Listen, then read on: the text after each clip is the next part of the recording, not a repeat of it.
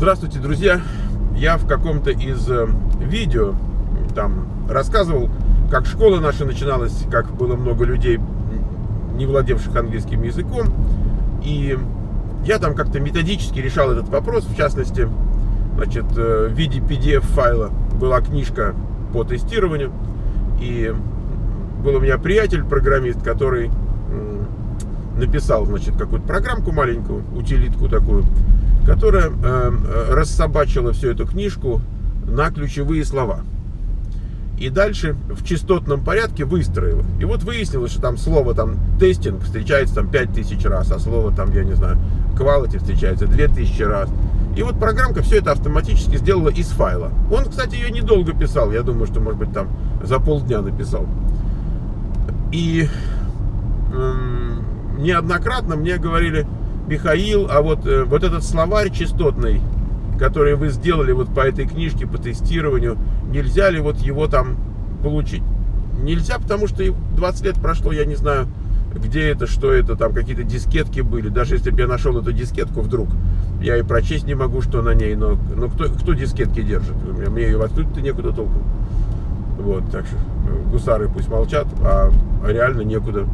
Поэтому, значит, э, что я хотел попросить? Я знаю, что среди нашей аудитории есть люди, которые программируют. Эм, и я подумал, что, может быть, сделать такую общую задачку, эм, что вот берется файл, да, вот что в этом файле, какая книжка в этом файле лежит, э, то и слава богу. Вот берется файл, и э, вот так он препарируется, и из него делается частотный словарь вот э, по этому файлу.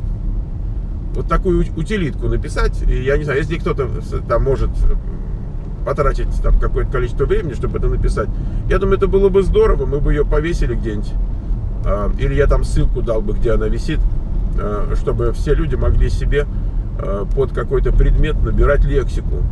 То есть смысл в том, что если тебя интересует архитектура или там программирование, или тестирование, или администрирование, вот чтобы человек там по этой лексике мог быстро начать читать литературу и, и, и говорить тоже, я думаю, что и в живой речи это тоже должно э, также активно применяться. Поэтому, если кто-то возьмется, вот я э, призываю, значит, там, волонтеров э, заняться этой задачей. И, или если вы хотите несколько человек, там, я понимаю, что может быть больше, чем один желающий, вы тогда в, комментариях там скооперируйтесь э, и, и, и решите задачку. И давайте мы что-нибудь сделаем. Файлов, вы, вы знаете сейчас, файлов сейчас полно. Возьмите там для тестирования любую совершенно книжку. Посмотрите, что получится и так далее. Вот так что, если кто-то возьмется, я буду очень признателен. Спасибо.